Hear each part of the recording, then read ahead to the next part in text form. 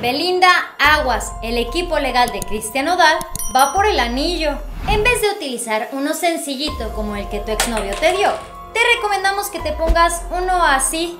Después de que el compromiso entre Cristian Odal y Belinda llegará a su fin, el cantante de música regional mexicana Cristian Odal está más que decidido a recuperar la gran inversión que le dio a Belinda en forma de un anillo de compromiso. El anillo que le dio Nodal a la cantante de Zapito prácticamente es la joya de la corona. Esta pequeña pieza de joyería está valuada en nada más y nada menos que en 50 millones de pesos. Hasta este momento es la joya más costosa que una celebridad mexicana le haya dado a una de sus prometidas. Ahora que ya sabes más o menos el contexto y este antecedente tan costoso, prácticamente se dice que Cristian Nodal no quiere saber nada de Belinda.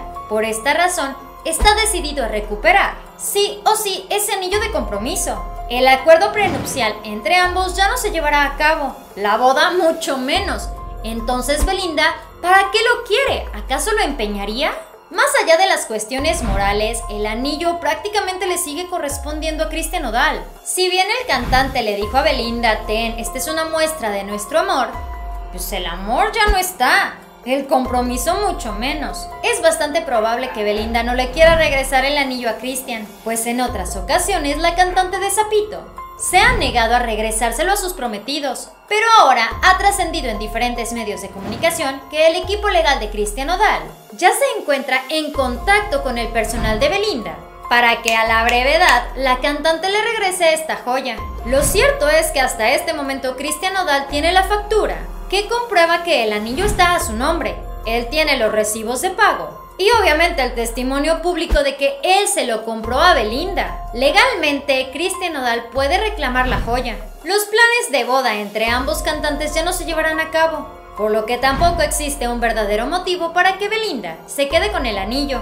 De igual manera, a través de medios de comunicación, se mencionó que si Belinda en algún momento se llega a negar y no le quiere regresar el anillo a Cristian Odal, su equipo legal está preparado para interponer una querella legal en contra de Belinda. Para este momento, a mí me interesa saber mucho tu opinión. ¿Crees que Belinda le debería de regresar el anillo a Cristian Odal? ¿O se lo debe de quedar? Al final de cuentas fue un regalo, ¿no? La opinión de Galilea Montijo es que Belinda se lo debe de quedar. Con sus propias palabras, Galilea Montijo, en pleno matutino hoy, dio a conocer su opinión diciendo, Mis amores, yo siempre les he dicho, los anillos no se regresan, por eso pidan, pidan, porque las piedras se quedan, los hombres se van, pero las piedras siempre se tienen que quedar. Su compañero de conducción, Raúl Araiza, le respondió a Galilea diciendo que a él en una ocasión sí le pidieron el anillo. En pocas palabras, como que se lo regresaron y a la mera hora se lo pidieron de regreso.